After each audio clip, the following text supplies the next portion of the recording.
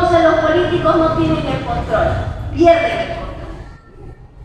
Porque la gente ya no vota por poco, ni depende por poco, sino que la gente empieza a valerse por sí misma y su voto se convierte más independiente, su pensamiento se vuelve más independiente y obviamente esa independencia que yo la llamo libertad, esa libertad es lo que Dios nos dio y es lo que los gobiernos no quieren que tengamos. Porque el gobierno que es lo suficientemente, el gobierno que es lo suficientemente grande para darte todo lo que quieres, es lo suficientemente poderoso para quitarte todo lo que tienes. Entonces, eso nos deja una reflexión inicial y algunos que se han perdido los anteriores módulos, los anteriores cursos, no se preocupen porque los vamos a repetir este módulo, pero vamos a dar un nuevo módulo para los que estuvieron en las cuatro sesiones. Yo quiero saber si alguien ha estado en las cuatro sesiones, levante su mano. Démosle un fuerte aplauso. Entonces, vamos a abrir el módulo 2 en, octubre, arranca el módulo política y vamos a estar poniéndonos al día desde ahora hasta octubre para los que se perdieron algunas clases y en, octubre arrancamos la parte de del segundo módulo. Ahora, ¿qué es lo que vamos a ver hoy? Resistencia justa. Esa palabra es importante verla porque estamos, parece un oximorón, que un oximorón quiere decir como que e, esas palabras no pueden estar juntas no puede haber una resistencia justa. Pero la verdad es que sí la hay. Vamos a ver cuándo es que resistir a un mal gobierno es justo. Hay momentos donde no es justo, pero hay tiempos donde sí, efectivamente es justo. Entonces, la resistencia justa consiste en los instrumentos que tenemos nosotros los ciudadanos para que no nos pisen, para que no abusen de nosotros. ¿A cuántos de ustedes les gusta que lo opriman, que abusen de ustedes, que los utilicen, que los engañen. ¿Cómo reacciona usted cuando eso sucede? Si es tu, si es tu vecino, ¿cómo reaccionar si tu vecino te está te, de alguna manera te está usando para mal. Si, te está, si de alguna manera te está usando.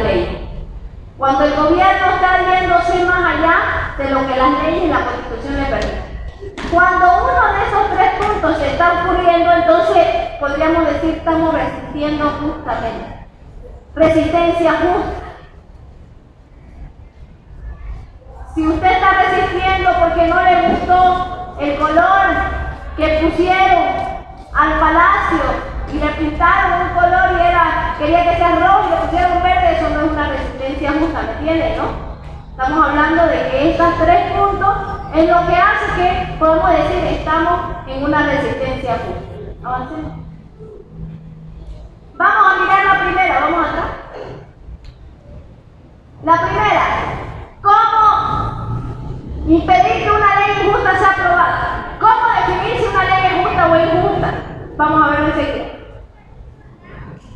Esta fue una enseñanza que cambió el sistema político del mundo, fue dada por Jesús, pero la cambió por completo. Cuando los discípulos estaban debatiendo, porque en la mente de los discípulos, que vamos a ver un poquito el contexto, estaban debatiendo un tema político y les explico por qué.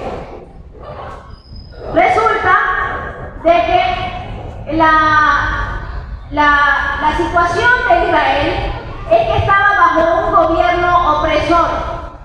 ¿Ya? O sea, Israel, el país, había sido conquistado por el imperio romano. ¿Qué quiere decir conquistado por el imperio romano? Es como que venga Chile y nos conquista a nosotros y estemos bajo el gobierno de Chile. O sea, ese era el contexto. ¿Ya? Israel no era independiente, no era soberano, lo habían conquistado. Y en, la historia del Antiguo Testamento, Dios levantaba un guerrero o un Mesías para poder liberar a Israel de su opresión política y recuperar el estado político de Israel. Entonces los discípulos pensaban que Jesús venía a liberarnos del César. ¿Ya? Entonces estaban debatiendo los discípulos diciendo quién se va, quién va a ser ¿Quién se va a sentar a la derecha del nuevo rey? Jesús es el nuevo rey, yo voy a sentar a la derecha, no a la izquierda, y empezaron a debatir los No que yo a estar a la derecha, no que yo a estar a la izquierda, y empezaron a, a, ponerse cargos políticos, como cualquiera en una elección política, si sabes que vas a ganar, decir, bueno, ¿dónde nos vamos a repartir las pegas? Empezaron a repartirse las pegas. Eso estaba pasando. Y Jesús Dice que él no estaba ahí, pero dice la Biblia que Jesús sabiendo lo que estaban conversando, le dijo esto. primero les preguntó, ¿cómo son los reyes de las naciones? ¿Cómo actúan? Le hizo la pregunta. O sea, la gente que está en el poder político, ¿cómo actúa? Le pregunta Jesús a los discípulos. Y, la respuesta en esta, ¿no? Actúan y se enseñorean. Se enseñorean quiere decir oprime. Se creen los, los, los, los, los, este, dueños de la gente. ¿No? Pero ustedes están, no le, como Jesús estaba sabiendo que estaban hablando de ellos, le dijo, ¿saben qué? No les dijo mal que piensen en la política, no les dijo eso. Malo, ustedes no tienen que entrar a la política, son mis discípulos, vayan a predicar la palabra, olvídense de la política. No les dijo eso Jesús. No los reprendió, no los, no los trató, les dijo, con que ustedes tienen poder político. Y para ¿no? Cuando ustedes, cuando ustedes estén en la política, por el contrario, no van a actuar así. Eso fue lo que dijo. No van a actuar así. Al contrario, el que quiera ser el más importante entre ustedes, tiene que ser el primer servidor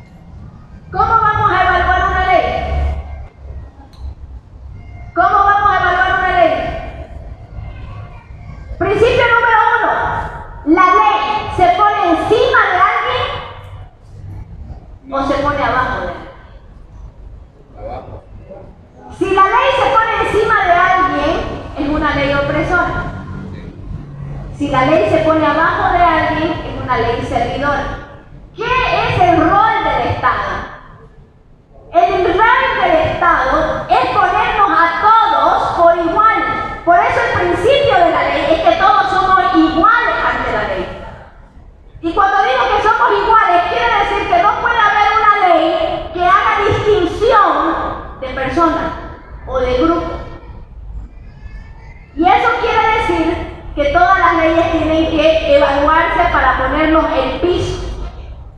Cuando el Estado es sano, el Estado no está así. El Estado está así que abajo de todo. Y usted me va, a entender cuando le dé los ejemplos. Se va a crear una ley a favor de los gremiales. Esa ley se pone, pone a los gremiales encima de otro grupo. ¿Me explico?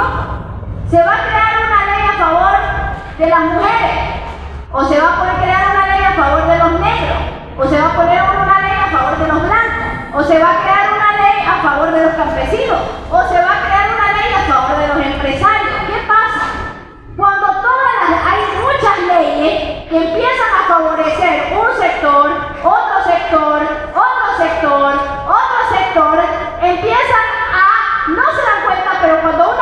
favorece a un sector, está inmediatamente en reciprocidad destruyendo otro sector.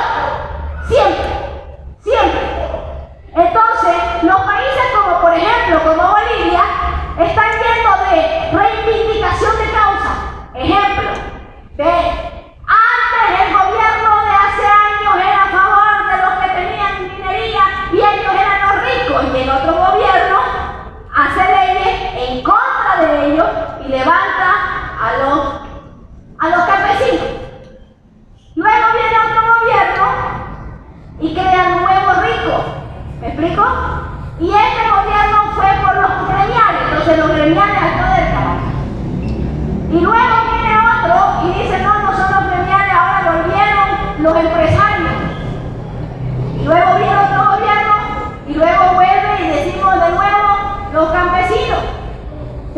decimos los indígenas. Ahora decimos los capas regionalistas. Entonces, ¿qué es lo que pasa? El país está lleno de leyes que causan desbalance y viene otro gobierno, hace otra ley y trata de un poquito nivelar la cosa, pero en realidad, en realidad, el principio de Jesús y el principio de un gobierno justo es que no se crea ninguna ley para favorecer a ningún grupo. Para evaluar una ley justa,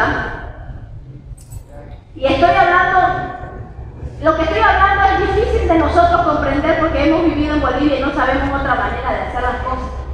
Entonces es complicado, es complicado pensar en un país donde no se hagan leyes a favor de un grupo o de otro grupo porque estamos acostumbrados que entre un gobierno, y por eso les decía al principio, va en contra de nuestra naturaleza pecaminosa, porque si yo soy gremial, yo quiero beneficios para los gremiales.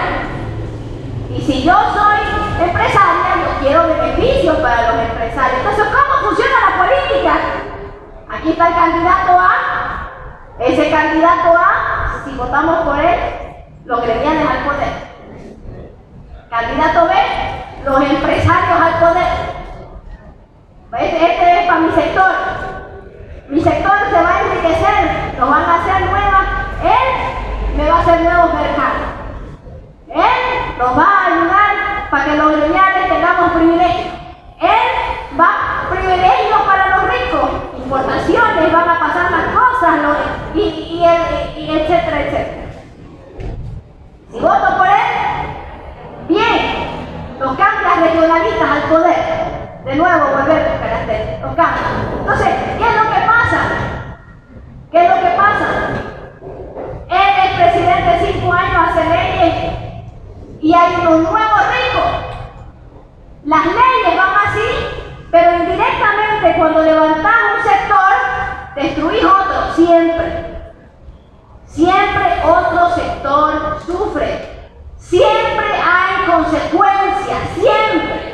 Siempre que un gobierno favorece a un sector, está destruyendo otro sector, le guste o no le guste. Entonces, ¿qué es lo que proponemos para este seminario, ¿qué es lo que propongo basado en esta enseñanza? No propongo de que los países ricos y los países desarrollados no crean leyes para ningún sector, sino que una ley, si no favorece a todos, no sirve. Ejemplo, el voto universal es para todos, todos podemos votar.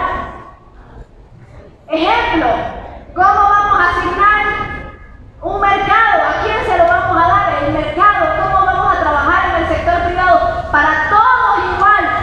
Y no decir, no. Si usted trabaja en salud, tiene otro diferente.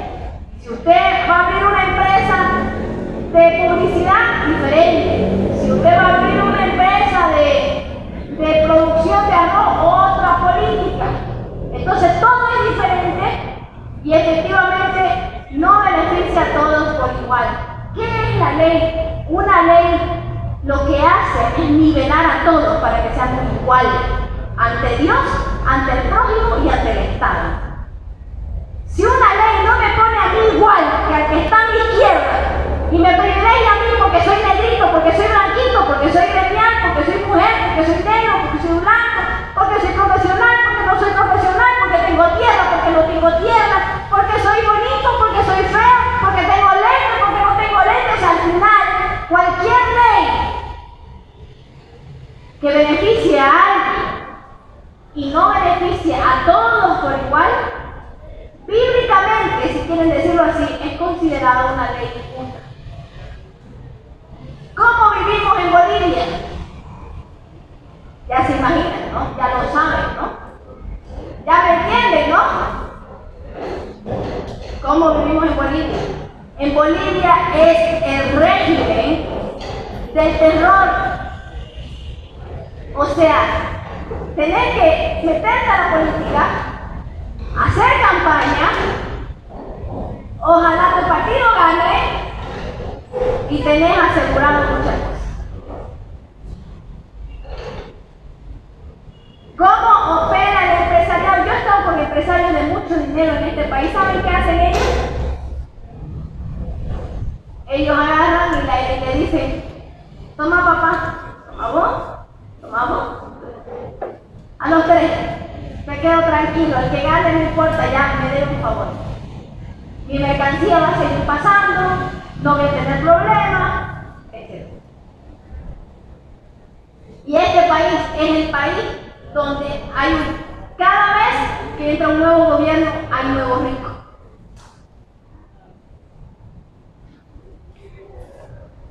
Ustedes no han tenido familia y parientes que cuando estaba el gobierno de tal estaban bien y cuando entró el gobierno de tal estaban mal. Cuando entró este gobierno estábamos bien, cuando entró este gobierno estábamos mal. ¿Por qué pasa eso? Porque no tenemos fundamentos, porque somos un país sin principios, donde el Dios de este país, el Dios de este país el Estado, y el que está con el Estado se enriquece, y el que está sin el Estado sufre.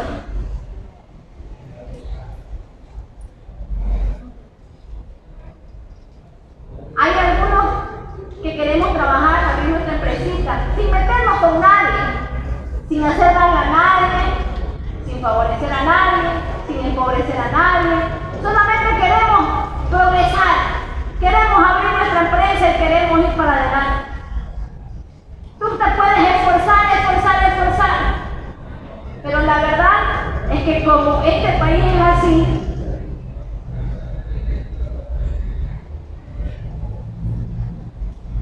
Tú vives o puedes tocarte una buena ola o puede tocarte una mala ola y al final tu esfuerzo termina siendo un 50% y la circunstancia otro 50%. En un país rico, el que se esfuerza y el que lo hace bien tiene el 100% de porcentaje de prosperar.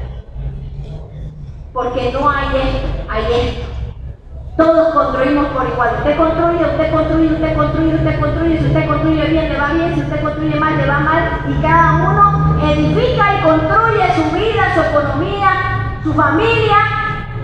Y si lo hace bien, le va bien. Porque el Estado no, se pone encima tuyo, ni te golpea, ni te destruye, ni favorece un sector e inmediatamente te destruye, por otro lado, sino que crea, pone el piso una ley y un gobierno tiene que poner el piso.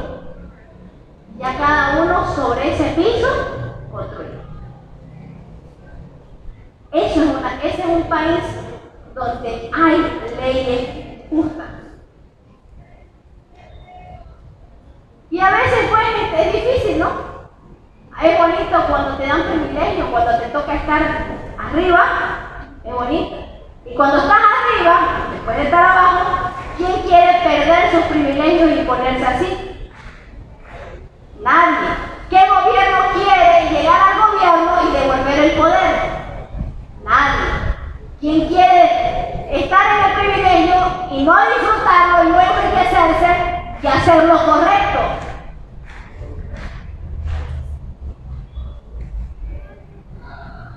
Y uno dice, si no lo hago yo, pues otro lo va a hacer, que más bien ser, eh, eh, eh, en realidad te, te llaman burro en este país, si pudiendo robar, no. Si pudiendo aprovecharte del poder, no te aprovechas. Si pudiendo tener privilegios para ti y para tu familia, ¿qué es lo que te dicen? Aprovechar son cinco años como dato.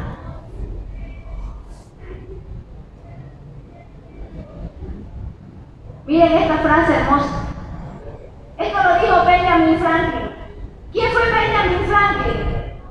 El escritor, eh, uno de los que firmó la Constitución de Estados Unidos y la Declaración de Independencia, un filósofo, abogado, escritor, inventor, una de las mentes más prodigiosas. Se dice que ha pisado esta tierra Franklin dijo, leyes que se dicten en favor de un sector siempre serán en detrimento, quiere decir destrucción, perjuicio de otro sector. Esto ciertamente son políticas públicas erróneas. Una dispensación equilibrada de protección, derechos, derechos, privilegios y ventajas es lo que hace que todos los ciudadanos disfruten de la prosperidad.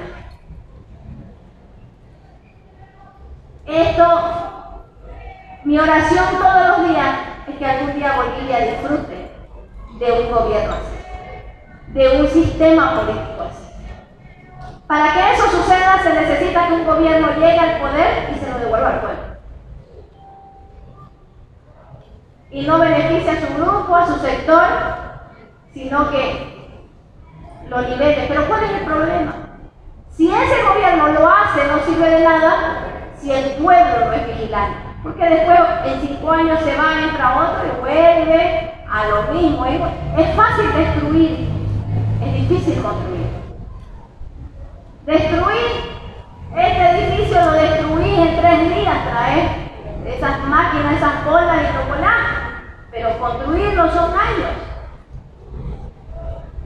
Un gobierno que venga y haga las cosas bien no va a gastar más que una elección para que todo lo que hizo se lo dejara. Si el pueblo, si nosotros, gente como usted, como yo, no aprendemos esto y nos volvemos en de construir un nuevo país. Diferente. Donde todos somos iguales. Donde no hay privilegios para nadie donde el que prospera y lo hace, el que trabaja y lo hace bien, prospera. No por favores políticos, no por muñecas, por influencia, sino por su capacidad, sino por su mentalidad, por su sacrificio, por su educación, por lo que cada uno construye. Avancemos. El parámetro para medir si una ley es justa es que beneficie a todos por igual sin favorecer a un sector más que otro. Hoy los gobiernos entran para enriquecer a su sector o a un grupo privilegiado. Ahora, otro problema que ocurre cuando empezamos a hacer esto es que los gobiernos producen monopolio de las empresas amigas, producen una nueva clase social de ricos nuevos y ponen barreras para que todos puedan prosperar. ¿Qué es lo que pasa? Yo soy un empresario o somos un grupo de empresarios que estamos acostumbrados a, que, a prosperar porque siempre estamos bien con el gobierno que entra. Siempre le pongo plata, cualquiera que va a ganar, que está bien en las. Entonces, ¿qué pasa? Cuando ese gobierno entra, me protege. Y al protegerme, hace que una persona, vamos a hablar por ejemplo, yo estoy en la industria de la construcción, yo construyo. ¿Qué pasa? Si yo tengo privilegio, yo no voy a dejar que otras empresas constructoras pequeñas crezcan. Entonces yo me adjudico todo, yo gano todo, yo hago todo, yo me bajo mis precios, punto que usted no puede competir conmigo y empiezo a destruir a todas las demás empresas que quieren salir, que quieren empezar, las empiezo a destruir porque tengo privilegio. ¿Me entienden? Entonces, ¿qué termina pasando? Los gobiernos que hacen este tipo de, bueno, todos los gobiernos que hacen este tipo de, de políticas que favorecen a uno y inmediatamente destruyen a otro, crean empresas privilegiadas que no dejan, no permiten que otros puedan salir. Entonces siempre la brecha entre los ricos y los pobres son más. Un país, ¿cómo medir la riqueza de un país por su clase media? Si la clase media es más grande que los pobres y que los ricos, tenemos un país poderoso. Y la clase media en realidad en ciertos países es como la clase rica acá. Miren, como los ricos, aquí en Bolivia así vive la clase media en los países que están mejor que nosotros. ¿Por qué? porque justamente quiere decir que todos tenemos igual oportunidad. Y eso es uno de los, aspectos importantes. Entonces, ese es el primer punto. Resistencia justa cuando hay leyes injustas.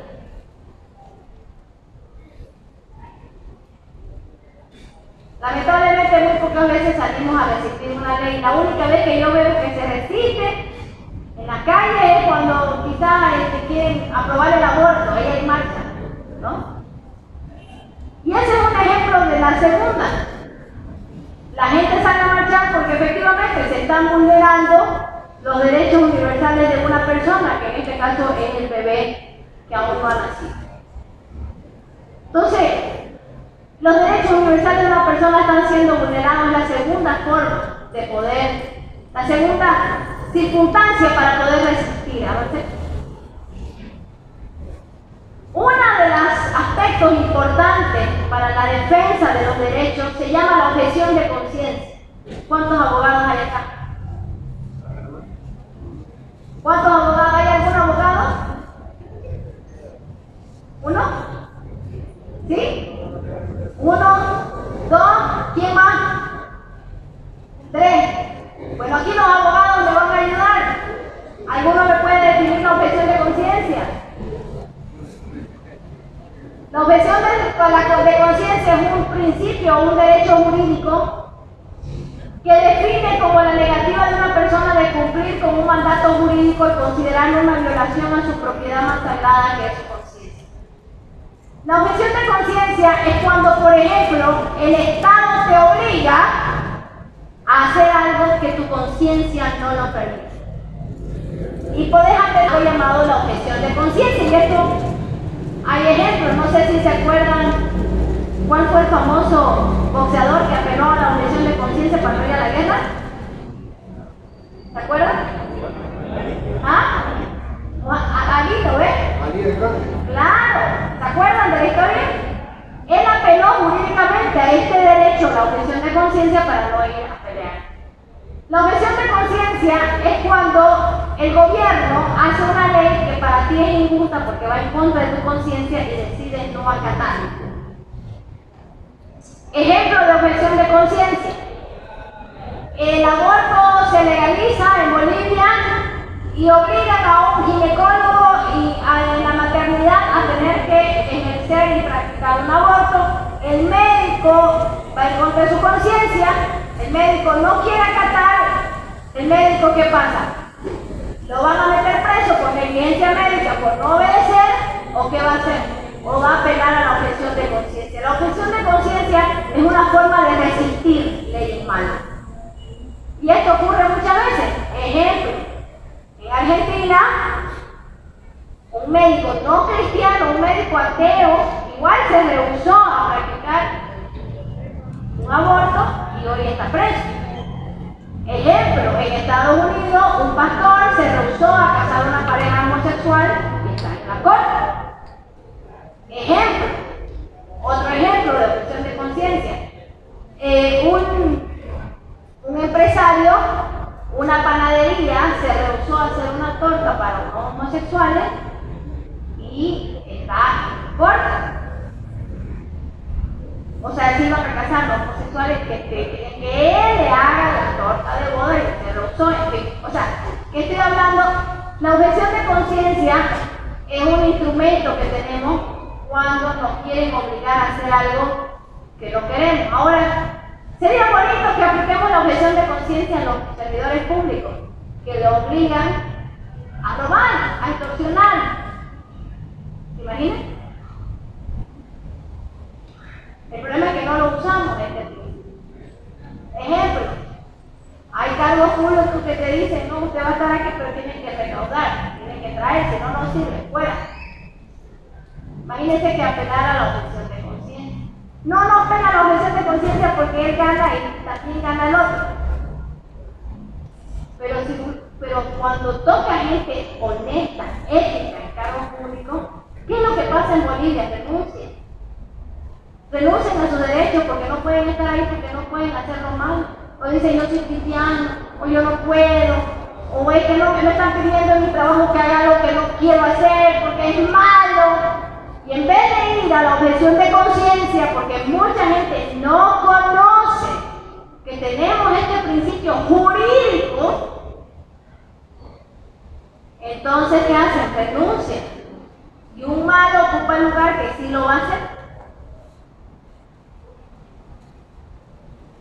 O termina cediendo y dice, tengo que alimentar a mi familia, me van a votar, no queda más, voy a tener que hacer lo que quieren que yo haga, aunque yo no quiero hacerlo, y termino, termino haciendo lo que no quiero. ¿Cuántos entienden lo que estoy diciendo? ¿O necesitan que sea más explícita? No, no, ¿eh? Está claro, ¿no? Ahora, la objeción de conciencia, vamos uno más, uno más. La objeción de conciencia, ya, para que lo entiendan, Bolivia es parte del Pacto de San José, que viene a ser el, convenio la Convención Americana de Derechos Humanos, que se llama el Pacto de San José, es un tratado internacional, Bolivia ha suscrito, somos parte, y eso significa que podemos aplicarlo en Bolivia. Habla sobre la objeción de conciencia diciendo toda persona, en su artículo 12, toda persona tiene derecho a la libertad de conciencia y de religión. Este derecho implica la libertad de conservar su religión o su creencia, o de cambiar de religión o de creencia, así como la libertad de profesar y divulgar su religión o su creencia individual o colectivamente, tanto en público como en privado. Y dos, nadie puede ser objeto de medidas restrictivas que puedan menoscabar la libertad de conservar su religión o sus creencias o su conciencia. ¿Ya? Entonces, este principio que está en el Pacto de San José de Costa Rica viene también, aunque muchos que hemos estudiado derecho, nos enseñaron todo sobre derecho, pero no nos dijeron de dónde viene. Este principio también viene de la Biblia y viene justamente de una enseñanza de Pablo de Romanos 2. Y dice así, porque en Dios no hay acepción de personas, porque cuando los gentiles que no tienen la ley cumplen por instinto los dictados por la ley, ellos no teniendo ley son una ley para sí mismos, ya que muestran la obra de la ley escrita en sus corazones, su conciencia dando testimonio y sus pensamientos acusándolos una y otras veces, defendiéndolos. ¿Qué quiere decir esto? Este principio dice, bueno, ¿qué pasa si hay personas persona, toda persona, aunque no viva en un estado que tenga leyes escritas, porque estamos hablando en un momento, en una época donde no todos los países es como ahora, que tenemos una constitución, que tenemos leyes que no estaban bajo emperadores, reyes, nada escrito, lo que el rey quería, hoy día el rey un edicto, mañana otro edicto, y usted iba al rey o al emperador o al cacique o al, al que le toque a pedir justicia, Peor si estaba aquí con los incas, era peor, era más, más grave, más sangrienta la justicia. Te iba y le pedía justicia y decía, Señor, me han sacado de mis cosas, se han entrado, me han robado. El rey te decía, no me digas así, ¿qué más tenés? Y yo también, yo también lo quiero, te lo quito. Así era la justicia, era lo que el rey pensaba, no había nada escrito. Entonces, con la Biblia, lo que estaban tratando de decir en este versículo era lo siguiente, hay gente que no tiene una ley escrita en su país, que no sabe lo que es bueno y lo que es malo, pero él dice, no te salvas, porque Dios lo puso en tu conciencia lo que es bueno y lo que es malo. Y vamos a ser juzgados de acuerdo a nuestra conciencia y los gobiernos deben proteger la conciencia del individuo. Porque dentro de la conciencia está la ley natural, la que hablamos en la primera clase, esa ley natural que no es lo que está escrito, sino que aquí todos sabemos, aunque hoy eliminemos toda ley de Bolivia, todos aquí estamos de acuerdo que matar es malo. No necesito convencer quizás a todos aquí que matar es malo, que asesinar, no, no matar, asesinar sin motivo es malo. ¿Por qué estamos todos de acuerdo? Porque damos testimonio de que tenemos una conciencia que dentro de nuestra conciencia alguien, un ser superior, puso en nosotros una ley, acá adentro. Y que las leyes escritas, los gobiernos, lo que tienen que hacer es agarrar esa ley que ya está en nosotros y escribirla y hacer que todos seamos iguales ante la ley. Eso es lo que tiene que hacer. Entonces, la objeción de conciencia lo que hace es proteger a un individuo cuando un loco, un tirano, quiere sacar una ley que va en contra de tu conciencia que no tengas que hacerlo, como por ejemplo el aborto. Un médico tiene la conciencia y dice, yo no puedo, porque yo sé lo que es un bebé, yo sé lo que hay en ese vientre, yo no voy a cometer un aborto porque sé que para cometer un aborto tengo que meter la pinza, sacar un brazo, decir está el brazo y luego unir las partes en el escritorio de todo el bebé para asegurarme que no quedó nada en ese vientre de esa mujer. Y sé que estoy cometiendo un asesinato. Entonces, la objeción de conciencia permite que cuando un tirano o un rey quiere agarrar e imponer una ley que va en contra de lo que en tu corazón sabes que está mal, que no lo tengas que hacer. Te protege. Y eso está en nuestro ordenamiento jurídico. En Bolivia, si una autoridad pública te obliga a hacer algo que va en contra de tu conciencia, también lo puedes.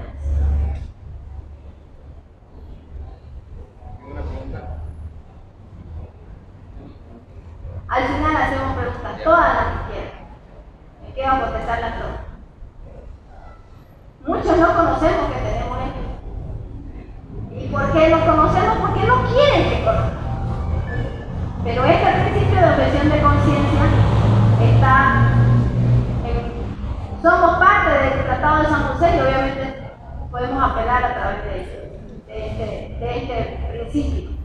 Es una manera de resistir si en tu trabajo te obligan a hacer algo que va contra tu conciencia, tenemos estos instrumentos. Tenemos estos instrumentos. Ahora, siempre me preguntan, yo soy pastor, pero me especialicé en la parte política, me apasiona la parte política. ¿ya? Y me dedico a, a esto de la política. Y eh,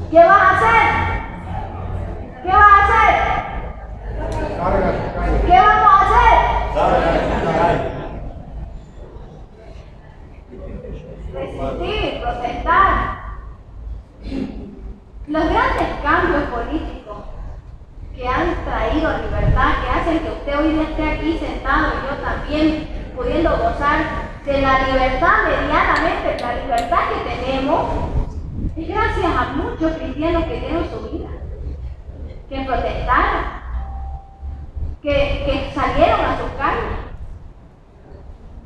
Las grandes protestas y cambios sociales contra la tiranía y la injusticia fueron liderados por gente de fe. La gran mayoría. Y fue por esta enseñanza, fue por este tipo de enseñanza. Y cuando dice hasta el polvo de su ciudad os acudimos contra vosotros, no es un, como hacen los cristianos, un acto profético, no, no es un acto profético, no es eso. Este, en realidad le están diciendo empiecen a hacer un acto de boicot, o sea, empiecen a dejar de cooperar, empiecen a dejar de, de, de, trabajar con el gobierno. E, e, ese es el mensaje de hasta el polvo de su ciudad nos sacudimos contra vosotros.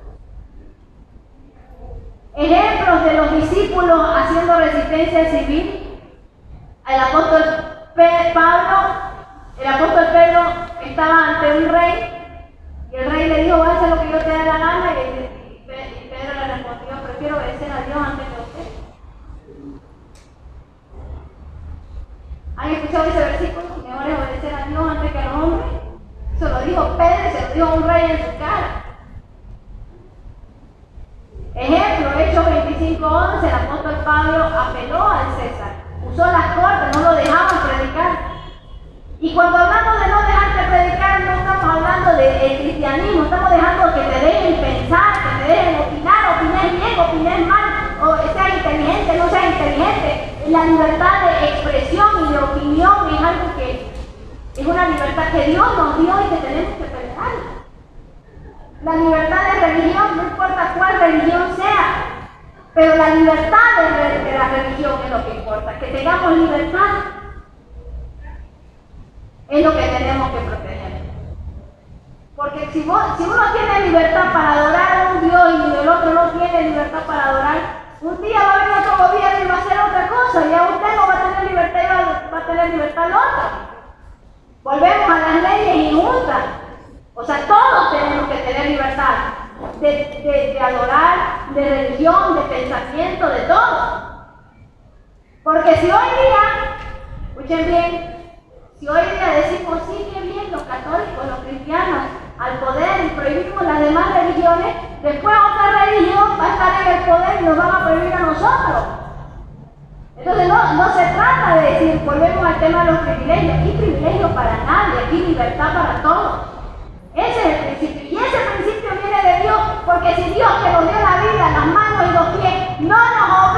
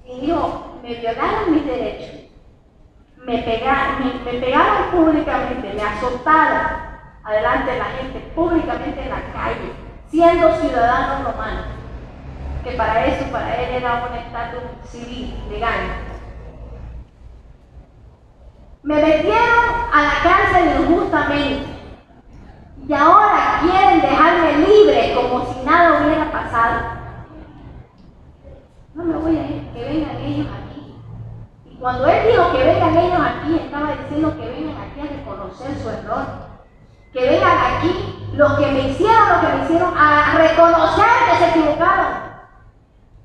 Dice que los hombres tuvieron que venir, reconocer. Y recién Pablo se ¿Qué es lo interesante? Yo hubiera salido, hubiera escrito un libro, hubiera hecho una película de mi escape de la cárcel. ¿No ves? ¿Ah? Hubiera hecho un bestseller, cómo escapé de la cárcel, milagrosamente se abrieron las cadenas, todo. Mi bestseller, no. Pablo sabía que si a él, ciudadano romano, lo trataban así como hacía con la gente pobre que, con la gente que no tiene, con la gente que no era ciudadana romana, cómo abusaban. Fue un acto de amor del hombre de decir, si yo no me les pago a esta gente, van a seguir haciéndolo y con todos los demás, porque yo me voy, pero los otros discípulos quedan. Iban a seguir predicando, iban a ver otra gente por otro motivo, cualquiera sea, les van a qué, les van a, ¿qué va a pasar? Le van a violar sus derechos, los van a oprimir. Era un acto de amor. Entonces la resistencia es parte de la esencia de nosotros, los católicos, los cristianos, los que creemos en Dios. Es parte de la esencia. Es parte de, de alguna manera de defender lo que es justo, lo que es correcto, de pararse y hablar cuando las cosas están mal cuando la gente aprende a decir esa palabra en amarillo, las cosas cambian. Cuando el pueblo empieza a decir esa palabra que está en amarillo. Aprendamos a decir esa palabra. Digamos conmigo, no. Más fuerte, no. Más fuerte, no. Cuando el pueblo aprende a decir esa palabra, las cosas cambian. Telémaco era un pastor de Turquía que llevó de turista a Roma y Roma estaba en el auge de las peleas de gladiadores. ¿Cuántos han visto las películas gladiadores? ¿Cuántos han visto las películas de gladiadores o de los gladiadores? Hemos visto varias, ¿no ves? Todos hemos visto cómo era antes, ¿no? Ya. Entonces la pelea, los gladiadores, la pelea de gladiadores es común en Roma, ¿ya? Y resulta que el pastor llegó de visita, de turista, y oh, ¿dónde va la gente? Iré a predicar, iré a dónde va la, multitud. Y se fue al Coliseo. Llegó al Coliseo y cuando empezó a ver la pelea de los gladiadores matándose a muerte ahí los hombres. Y el hombre se desesperó tanto que se paró en el coliseo y dijo, en el nombre de Dios, detengan esto. Y la gente que estaba a su lado, Entonces el hombre se, se pone más abajo, baja un poco y se pone en un lugar más visible y más fuerte y dice, al nombre de Dios, detengan esto. Dice y la gente empezó a escuchar,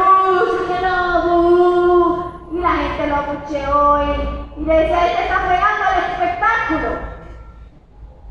Entonces, eh, Telémaco se fue abajo y se puso en la orilla, ya casi en el ring, ¿no? En la arena. Y desde ahí gritó y a todo el mundo lo vio. En el nombre de Dios, detengan esto. Y la gente dice que empezó a tirarle cosas, lo que estaba comiendo. Y algunos le tiraron piedra, de todo, le tiraron a Telémaco. ¡Uh, cállense esa que no está fregando el espectáculo!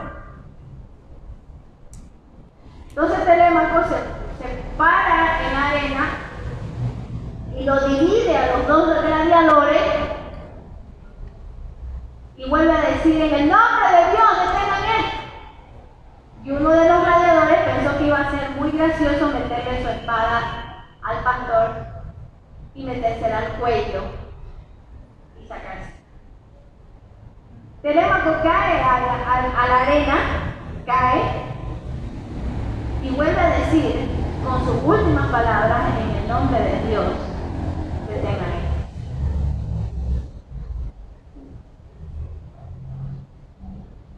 A partir de ese momento nadie, nadie se rió, nadie abucheó.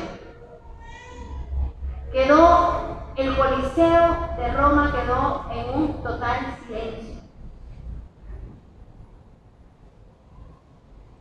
Silencio total. Y la gente en silencio empezó a levantarse y a irse.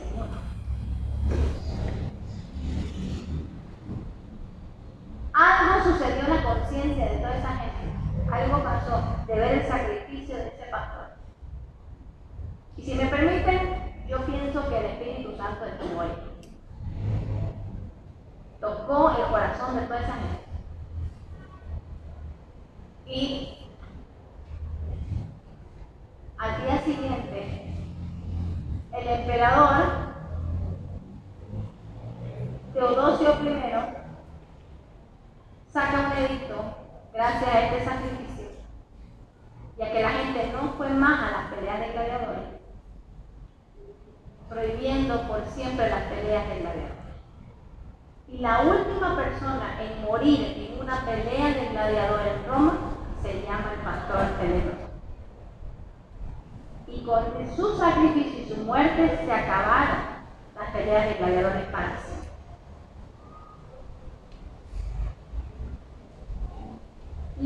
a veces los cambios tienen sacrificio. Y en este caso, Telémaco hizo un sacrificio supremo, un sacrificio total. El sacrificio de dar su vida para que nunca más otro ser humano tenga que morir en esas peleas como animal.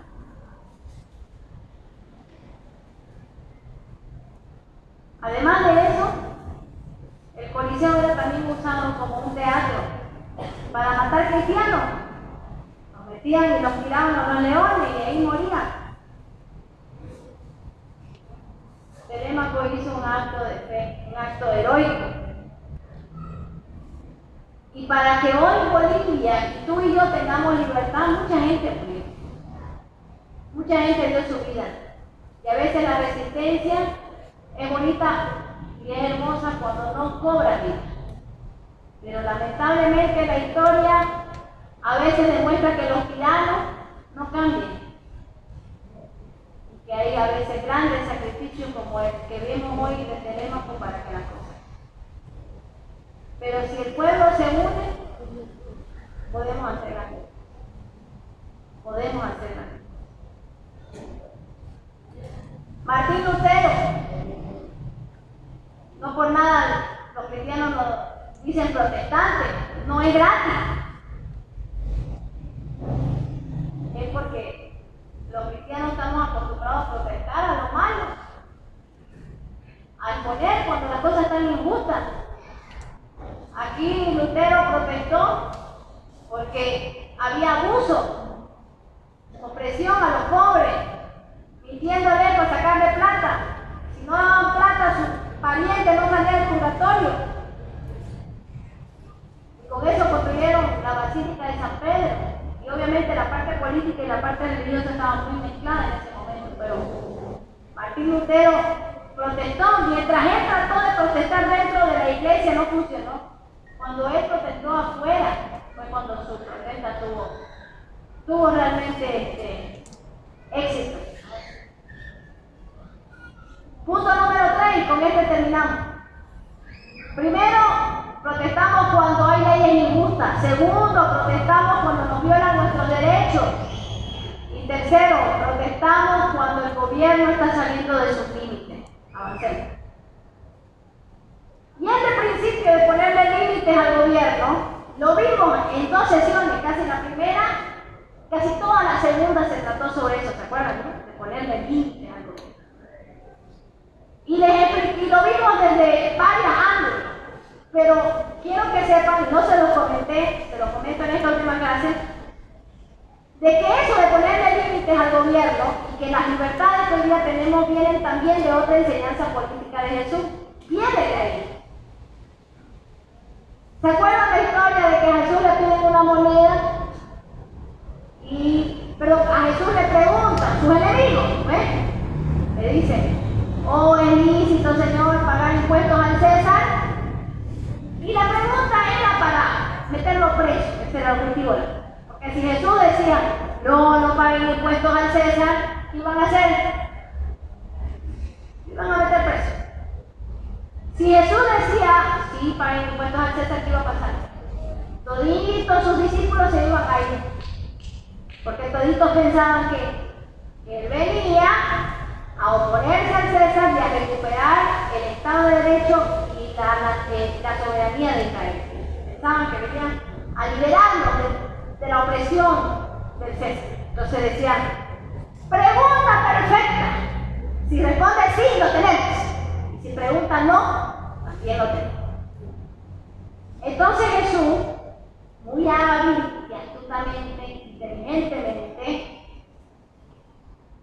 pide una moneda y pregunta de quién es la imagen que está en la moneda. ¿Y qué dijo la gente? Del César. Y él respondió, denle al César lo que es del César y denle a Dios lo que es de Dios. Los romanos no la captaron si no lo hubieran arrestado.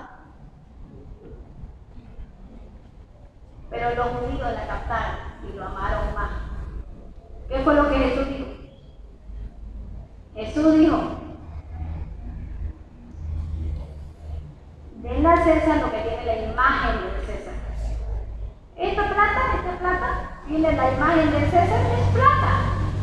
No vale mucho, denle al César su plata. ¿Pero qué dijo? Denle a Dios. Ahora le voy a agregar la parte que le falta para que la entienda. Denle a Dios lo que tiene la imagen Dios.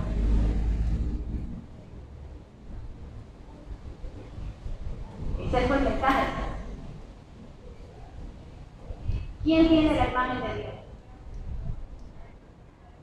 ¿Dónde encontramos la imagen de Dios? Génesis 9:6, el que derrame sangre de hombre por el hombre, su sangre será derramada porque a imagen de Dios. Jesús le dijo a los judíos, nunca le des al César, nunca le des al César control de tu vida. Nunca le des al gobierno, al gobierno, su dinero sí, pero no le des al César control sobre tu mente sobre tu corazón, sobre tu alma, sobre tu creencia. Y esa, esa enseñanza de Jesús es de donde nacen los tres principios más importantes de libertad del mundo. Y miren esto porque ustedes Muchos sabemos que los tres pilares de libertad, y aquí los abogados saben, es la libertad de qué? La libertad de pensamiento, del cual nace la libertad de prensa, la libertad de educación y la, eh, eh, libertad de, las ideas, de pensar diferente. ¿Cierto?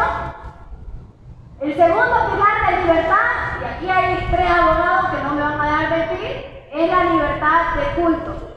La libertad de que la gente pueda expresar su religión como quiera es un segundo pilar de que podemos decir que hay libertad en un país. Y la tercera es la libertad de expresión. ¿Sí o no? La libertad de expresión de poder decir lo que uno piensa. De poder escribir lo que uno piensa. Resulta, resulta de que la imagen de Dios está compuesta por tres partes. O sea, hay tres cosas que hacen al ser humano imagen de Dios. La primera es que tenemos una mente diferente a la de los animales. Tenemos una mente creativa para pensar, para hacer. El, ser humano tiene algo que Dios le dio y no le dio a nadie más, que es la capacidad de pensar. Por ejemplo, nosotros con nuestra mente podemos construir estos edificios, podemos hacer software, computadoras, internet. Tenemos, miren esta tecnología, ahora estoy con un micrófono, con cámara, con todo esto. ¿De dónde viene eso? Un animal puede hacer eso, no. Somos creados en imagen de Dios, por eso tenemos la mente. Número dos, tenemos la libertad de adorarte. Tenemos un espíritu para adorar a Dios. También somos hechos en imagen de Dios porque tenemos la libertad de, adorar. Y tres, también de hablar. Hablamos porque Dios habla. Somos el único, eh, somos el único ser creado, a diferencia de los animales, que podemos hacer libros, que podemos escribir, que podemos aprender a leer, que podemos aprender idiomas tenemos medios de comunicación diferentes. ¿Por qué tenemos eso? Porque tenemos algo que Dios le dio al ser humano que no nos tiene imagen de Dios. Y cuando Jesús dijo, da a César lo que es de César y a Dios lo que es de le dijo al hombre lo que tiene la imagen de Dios, que es lo que pensamos, que es la libertad de expresión y la libertad de culto nunca le den al gobierno control sobre lo que pensar, sobre lo que adorar y sobre lo que decir. No le demos control al gobierno y debemos limitar al gobierno para que el gobierno no controle la religión, el pensamiento y la comunicación. El gobierno no debería controlar la iglesia, los medios de comunicación y las escuelas, porque son áreas privadas, tuición que solamente tiene Dios, el individuo y la familia. Nadie más debe entrar ahí. ¿De dónde viene esa idea de libertad? Viene de esta enseñanza de Jesús. En esa época esto no existía. El César era dueño de lo que pensaba, era dueño de lo que decía. El cacique, el emperador, no le podía decir al emperador, ¿sabe qué? Yo pienso diferente que usted. Te mataba. No podías pensar, no podías opinar. Cuando Jesús dijo esto y, esta, y la Biblia empezó a ir a todo el mundo, los gobiernos empezaron a cambiar gracias a estas enseñanzas. Entonces, se crearon constituciones para que el gobierno no usurpe funciones. ¿Qué quiere decir? ¿Cuántos de ustedes quieren que el gobierno eduque a sus hijos y le diga cómo pensar? ¿Cuántos de ustedes quieren que el gobierno le diga a usted cómo tiene que tratar a su esposo? ¿Cuántos quieren que el gobierno le diga a usted cómo va a hacer su familia? ¿Cómo va a manejar su plata? ¿Qué va, cómo, va a ¿Cómo va a manejar su vida privada? ¿Quién quiere eso? Nadie, ¿no ve? Sin embargo, algo que tiene la imagen de Dios somos nosotros y somos nuestros hijos. ¿Y qué hacemos con nuestro hijo? ¿Acaso no se lo entregamos al gobierno? ¿Acaso no hacemos eso? No, mi hijo está en colegio público o mi hijo está en colegio privado. No nos engañemos. Una señal de que en un país no hay libertad es que no hay libertad de educación. Bolivia no hay libertad de educación. Usted cambia el currículum de su colegio si puede. El mismo currículum del colegio público es el mismo del colegio privado. La única diferencia es que usted paga nada.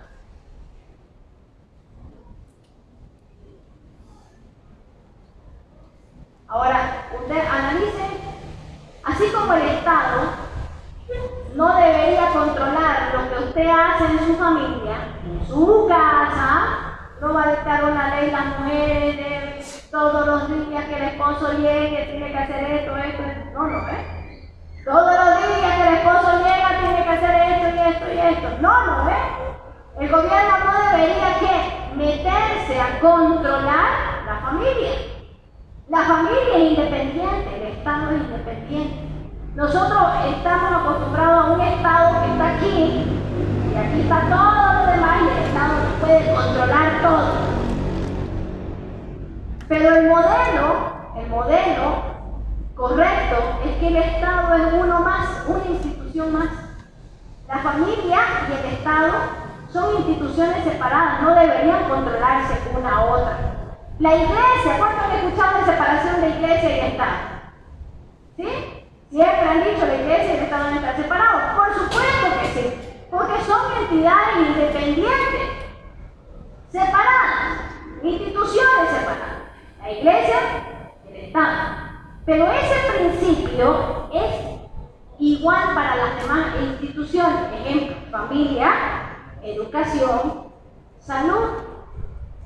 El gobierno no debería controlar la iglesia sí, la iglesia debería controlar al Estado, por supuesto, pero lo mismo debe ocurrir con la educación, pero no existe. ¿Quién aquí es libre para educar a su hijo a su manera? Nadie. ¿Cuántos de ustedes pueden crear de manera creativa un currículum para su hijo? Nadie. Si usted quiere, aquí nos organizamos cinco madres, ya. Queremos darle una educación superior a nuestros hijos, mejor que la que hay. Bien, nos organizamos las cinco madres y creamos un colegio. ¿Pueden enseñarles lo que quieren a sus hijos? No pueden. Entonces usted agarra la imagen de Dios y se la entrega al César. Eso, hacemos. Agarramos la imagen de Dios y se la entregamos a quién? Se la entregamos al César. Y después cuando tu hijo tiene 13 y 14 años, ¿sabes qué te dice? No te metas en mi vida, no me conoces, no eres nadie, en el colegio es diferente. Mis compañeros no dicen eso. ¿Por qué? Porque el que enseña tiene la autoridad. Y si el papá no tiene la autoridad, no enseña, no tiene la autoridad. La autoridad la tiene el que educa.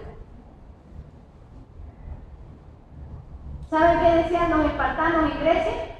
Quítale el rol a los padres de educar a la próxima generación y puedes hacer el cambio político que quieras. Eso decían los espartanos y Grecia. ¿Y saben qué dicen ahora los gobiernos actuales? Dicen lo mismo. No le podemos devolverle al padre la autoridad sobre su hijo, porque si no el, hijo, el hijo tiene que ser más hijo del Estado que de su padre.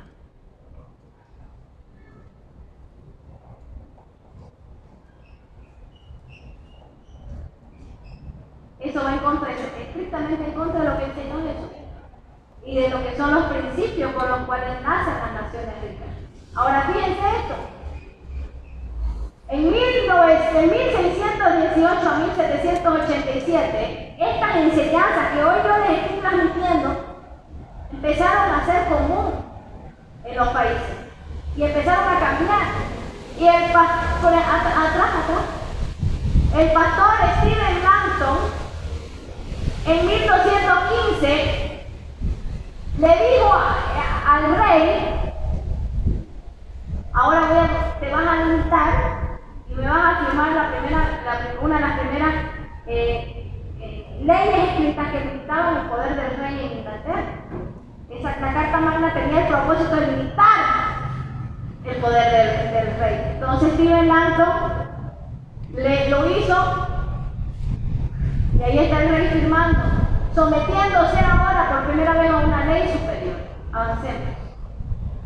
En Estados Unidos los pastores saliendo, salieron huyendo de Europa buscando libertad. ¿Cómo se construyó Estados Unidos? Cristianos saliendo de Europa queriendo entrenar a sus hijos en sus casas, queriendo libertad de educación y libertad de culto. Así, así nació Estados Unidos. Puros pastores saliendo, huyendo de Europa, buscando un nuevo mundo. Y cuando estaban en el barco, llegando a Estados Unidos, dijeron, habiendo aprendido para la gloria de Dios el avance de la fe cristiana, debido a esta presencia, convenimos y pactamos unirnos en un cuerpo político. Y lo escribieron en el barco, escribieron los primeros estatutos de, de lo que viene a ser el cuerpo político de Estados Unidos. Este, este, este, tipo, basada en la enseñanza de Jesús, escribió la Constitución de Estados Unidos. ¿Saben qué tiene la Constitución de Estados Unidos de impresionante? Que nunca se ha cambiado. ¿Saben cuántas veces hemos cambiado nosotros de Constitución? ¿Y saben por qué la cambiamos? Porque para nosotros nuestra constitución no vale nada. ¿Cuál es la fuente de la constitución nuestra? El hombre, el, partido político de turno. Pero Estados Unidos sabe que su constitución fue escrita basada en la Biblia. ¿Quién la va a cambiar? A no ser que Estados Unidos cambie en esencia sus principios, va a ser muy difícil que cambie su constitución.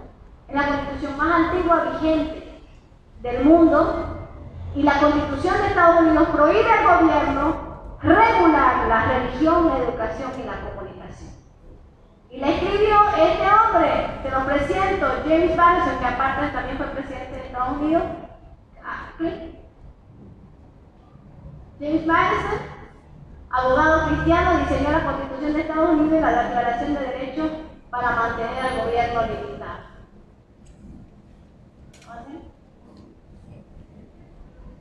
El gobierno no debe ser el proveedor de una nación, el proveedor es Dios. Cuando la gente deja de buscar a Dios y empieza a mirar al gobierno, aparece la primera causa de idolatría que lleva una nación al paganismo, adorando al Estado en vez de Dios. El problema es que nosotros queremos que el Estado sea nuestro Dios, te solucione todos tus problemas. Y el gobierno que es capaz de solucionarte todos tus problemas es capaz de darte todos tus problemas. ¿Me entiendes? Hay un bonito libro de un amigo que se llama Gobierno Todopoderoso. Si el gobierno lo toma todo, ¿qué queda para mí? Si el gobierno es dueño de todo y gobierna todo y controla todo para darte todo, salud, educación, ¿qué más querés? Trabajo también, salud, educación, trabajo, empleo, para ti, para tu hijo, pensión, comidita, comedor, nada, todo, nada es gratis.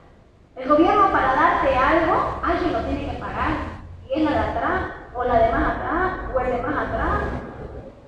O no te das cuenta, pero te lo saca por un bolsillo y te, lo, y te da por el otro. Todos queremos el Estado todopoderoso. ¿Saben qué? Lo, quiero terminar, quiero terminar dejándoles la primera frase con la que empecé este módulo 1. Y era esta. Yo no quiero que el gobierno me dé pescado. ¿Han escuchado esa frase, no? Yo no quiero que el gobierno me dé pescado. Yo no quiero que el gobierno me enseñe a pescar. No quiero. Quiero que el gobierno me deje pescar. No quiero que el gobierno me eduque. Yo quiero educarme sola. No quiero que el gobierno me diga cómo pensar. Porque si dejo que el gobierno me diga cómo pensar, me va a educar mal el gobierno, no me va a educar para mi bien. Yo no quiero que el gobierno me dé mercado. No quiero que el gobierno me dé educación. Yo quiero que el gobierno me deje trabajar, me dé libertad para trabajar para prosperar y van a ver que yo voy a tener los recursos para escoger dónde me educo, cómo me educo, dónde me curo y cuándo me curo. ¿Qué prefieres? ¿Que el dinero esté allá en las arcas del Estado o esté en tu bolsillo? ¿Ah?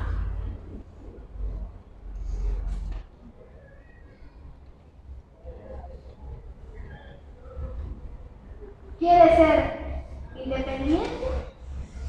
Para poder elegir? ¿O quieres que el gobierno te dé todo gratis y ser esclavo? Cada vez que le pides al gobierno que te dé algo, estás pidiendo que te controle más. Voy a repetir eso. Cada vez que le pedís al gobierno que te dé algo, le estás pidiendo que te controle más y que te saque más. ¿Saben por qué los viejitos se crucifican? Y piden que le aumenten el bono sol, ahora bono dignidad, porque sus hijos no le dan. Entonces, todos los problemas que queremos que el gobierno solucione son problemas de nuestra familia que nosotros no afrontamos. Ejemplo, ejemplo número uno, quiero que el gobierno cuide de los adultos mayores. Muy bien, ¿por qué? Porque no hay hijos que se pongan, que, que tengan el corazón de cuidar a su abuelo, a sus hijos, a su, a, a su padre. ¿Por qué se sacrifican y están abandonados? ¿Dónde están sus hijos? Si todos los hijos cuidaran de sus padres, no necesitaríamos que el gobierno no tendría que darle eso. ¿Saben la cantidad de plata que gasta el gobierno? ¿Y saben de dónde sale esa plata? Sale de tu trabajo, de tu bolsillo, de tu esfuerzo. O sea que está, querés que el gobierno te saque la plata de tu bolsillo porque vos no sos capaz de dársela a tu propio padre quieres que el gobierno te la saque a tu bolsillo para el gobierno dársela y después que el gobierno le diga a tu padre arrodillate porque te la di yo. Vota por mí porque te la di yo. O hablemos de la gente que está en las calles, en los canales. ¿Acaso no tienen un padre y una madre, mismos los drogadictos y los delincuentes? ¿Dónde está su papá? ¿Y dónde está su madre? ¿Y a quién pedimos que vaya y haga algo con esa gente? Al gobierno. Y los niños que viven en la calle, ¿a quién le pedimos que solucione ese problema? Al gobierno. ¿Por qué? Porque nuestras familias están quebradas, nuestras familias están destruidas, nuestras familias están fragmentadas, porque nosotros, nuestra familia, no asumimos responsabilidad. Por eso queremos que el gobierno tome control y haga lo que nosotros no hacemos por nosotros mismos. Y eso es caro. Y el gobierno te va a decir, ¿sabes qué está bien? Lo voy a hacer, pero dame la plata. Porque el gobierno tiene plata porque tú se la. Cuando tú trabajas, ahí te se te cuenta. Eso vale estar. ¿Tenés una empresa? Pagás tus impuestos. Vale estar. ¿Vas a importar algo? Vale estar. ¿Vas a querer, tener una casa? Va al Estado. ¿Querés hacer una transferencia de un vehículo? Va al Estado. Se murió tu abuelita, te dejó una herencia, el 30% va Estado. ¿No sería mejor decirle al Estado, ¿sabes qué? Déjamelo a mí la plata y yo voy a cuidar a mi abuelita. Yo voy a cuidar mi salud, yo voy a cuidar mi educación y yo voy a cuidar a mi Pero a mí déjame la plata. ¿No sería un mejor trato?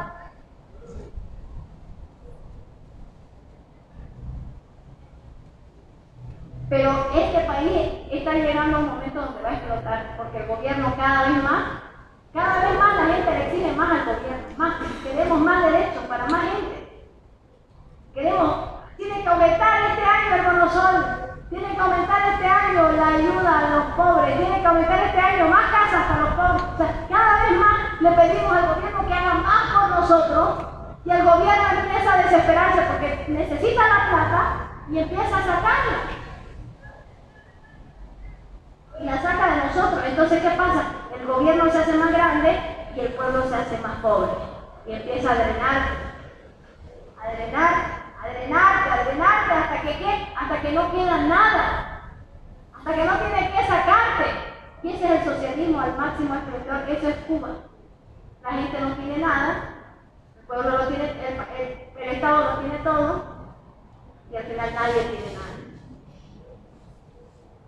Lo que necesitamos es decirle al gobierno, venga para acá, venga para acá. No me quiten más, no me den más, pero no me quiten más. Es una, es una mentalidad totalmente opuesta a la que experimentamos, ¿no es cierto?, en nuestro país. Aquí está el famoso Pedro Murillo, antes de morir en su resistencia por la libertad de Bolivia, ¿qué dijo? La llama que dejó encendida, nadie la apaga. ¿Ah? ¿Para qué hablar del pastor Martín Lutero? ¿Saben su historia, no? Lo asesinaron por defender y pedir que los negros tengan los mismos derechos que los blancos. Él no pedía privilegio para los negros, él pedía igualdad, que es lo que venimos hablando. Igualdad. Organizó marchas de protestas en Estados Unidos y en una de esas marchas, afuera de su hotel, lo mataron. Pero después de su muerte, más gente se levantó y logró el cambio que quería. Se abrogaron las leyes de segregación. ¿Y saben qué era? Un pastor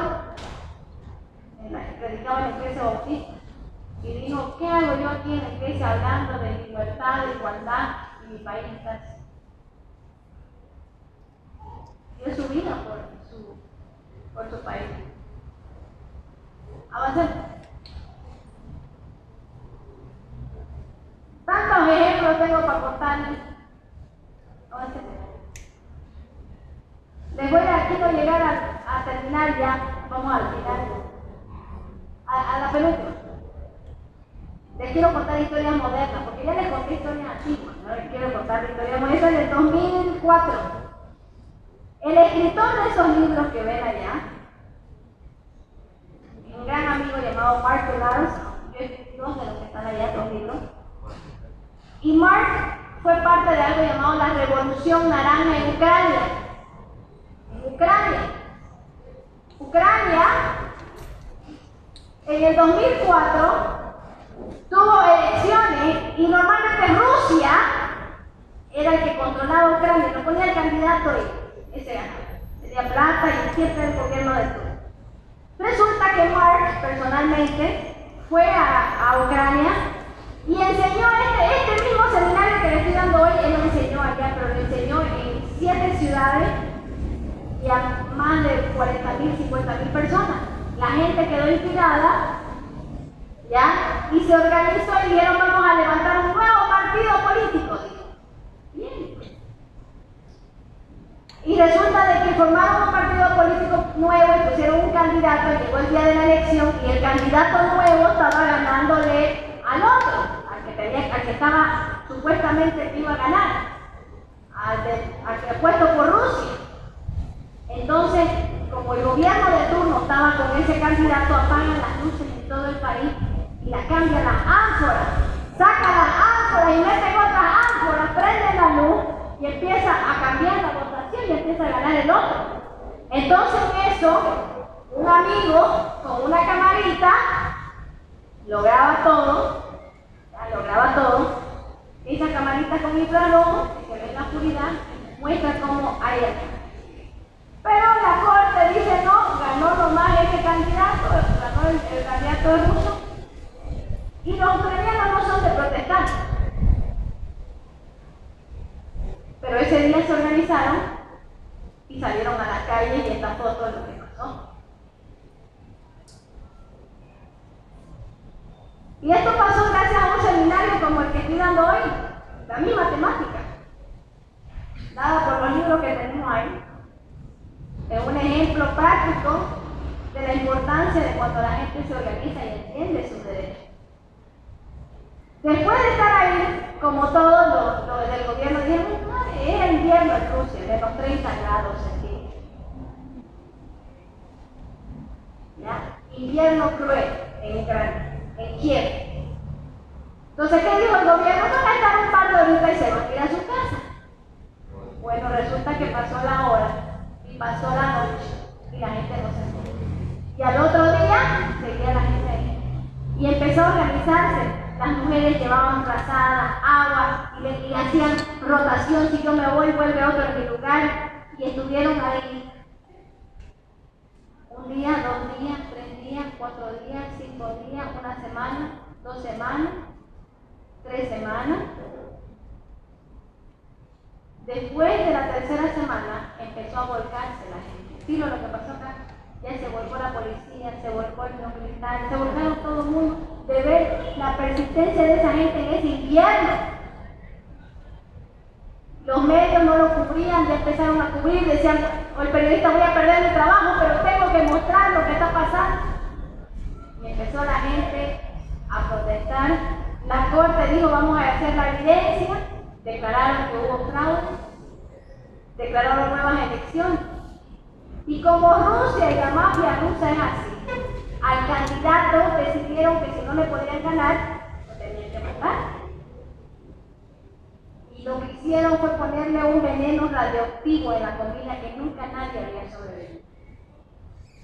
Y este candidato, que era cristiano, lo ingirió y se lo llevaron de emergencia a la clínica. Todos sus órganos empezaron a apagarse. Y, toda su piel de su cara empezó a salirse, le hacía unas ampollas por toda la cara, porque el veneno salía por sus poros. El país entero paró a orar por tres días por, ese hombre para que se sane. Dios de milagro lo sanó, le restauró todos sus órganos y ganó la elección. Y se paró en esa misma plaza y se arrodilló y le entregó su país a Dios. Búsquenlo en Google, Revolución Naranja.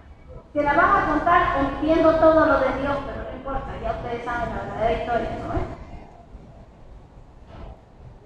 Esa fue la revolución naranja, la resistencia de un pueblo cuando resiste. Y les voy a contar una de las cuales yo participé y ayudé a organizar, que fue la de Colombia del 2016. ¿Se acuerdan del Tratado de Paz? Y de que hubo la que querían hacer un tratado de paz entre la, la guerrilla y el gobierno. Resulta de que con varios pastores descubrimos que en el tratado de paz estaban entregando en el país enterito a las fuerzas guerrilleras.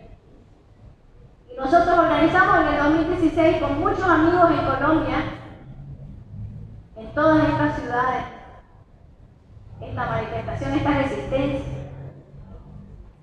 Resulta que, cuando sucedió, cuando estaban afuera del Palacio de Educación, porque estaban metiendo, estaban aprobando el aborto y la ley y el matrimonio homosexual dentro del Tratado de Paz. ¿Y qué tenía que ver? Pregúntenme nada.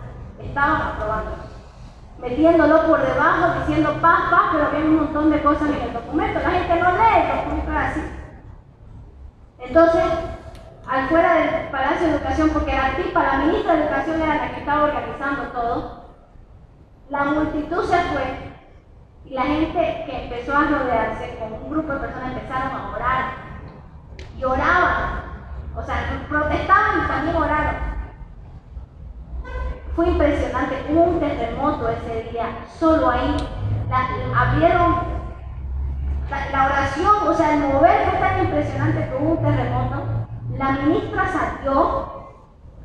Todos los funcionarios que habían adentro, habían amigos adentro, nos contaron que vieron el temblor, empezaron a salir del edificio, evacuaron al edificio, pero el temblor solamente fue ahí. Empezaron a salir, era una multitud obviamente allá afuera, orando y protestando.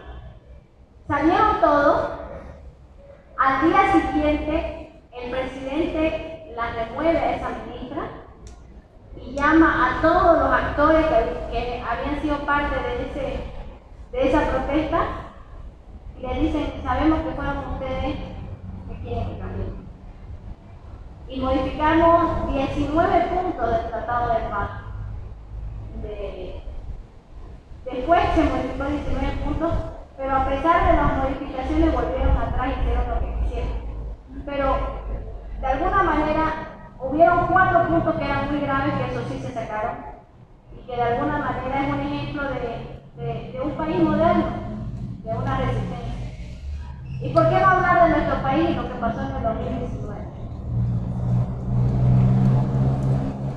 que creo que muchos de nosotros también volvimos más creyentes, menos creyentes, pero todos nos pusimos a orar y nos acercamos a Dios. Porque cuando hay resistencia justa, siempre está Dios ahí. Cuando se van a ver cambios que sean para el bien de la gente, siempre está Dios ahí. Aunque a veces sean difíciles, aunque a veces el pueblo no esté preparado para asumir un cambio. Y una vez en el primer seminario alguien me preguntó y me dijo, eh, ¿qué podemos hacer para cambiar un gobierno? Y mi respuesta fue sencilla, no puedes cambiar un gobierno, primero tienes que cambiar a la gente, al ciudadano, porque el ciudadano pone al gobierno, no el gobierno al ciudadano. Y si queremos tener un gobierno diferente, tenemos que tener ciudadanos que pensemos diferente. Si no eh, pensamos así, de nada sirve un gobierno, porque va a venir un gobierno y nos van a tumbar. Un gobierno que vaya y quiera hacer las cosas no bien no va a durar en este país. Los van a sacar todos.